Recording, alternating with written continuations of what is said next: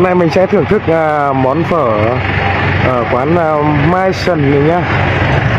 Đây các bạn này, đây là một cái địa chỉ rất là tuyệt vời. Và mình à, có một cái phong cách ăn phở mới của Hà Giang ấy. Đi vào cái cổng à, quán phở này thì cảm thấy là nó rất là đơn sơ thôi, nó không có cái gì là là đặc sắc cả. Thế nhưng mà đi vào trong thì chúng ta mới thấy rằng là nó thật sự là cái ẩm thực đặc biệt của Hà Giang Dạ, đi qua cổng trường chính trị à, tỉnh Hà Giang lên khoảng tầm 300 mét thôi nhá, cả nhà nhá. Đấy, trong đây không gian thật là tuyệt vời.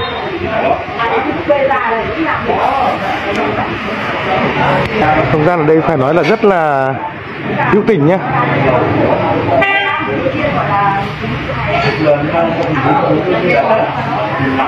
ở đây à, nếu mà nhìn vào trực diện như thế này thì nó sẽ có một chút cái nét à, văn hóa tẩy và nó lại có một chút lại văn hóa người hoa. Thì cái cách bài trí ấy. gì ấy phở Mai Sơn ờ, phở Mai Sơn ạ, phở bát đá. Bát đá. À phở mai sơn bát đá. Là dài nhá các bạn nhá. Văn Ca Lâu.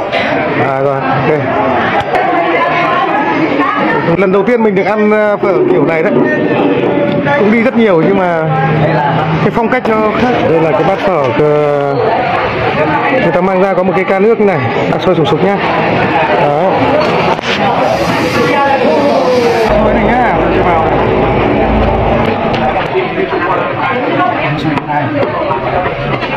cho ớt xay nhá, mình là ớt xay tỏi đây. Hoàn toàn ớt tươi. Ấy. Đó. Không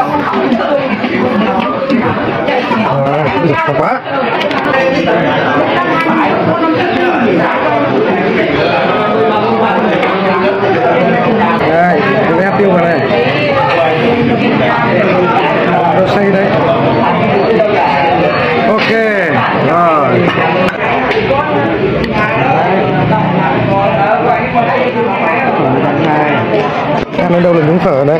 Đó, ngon lắm.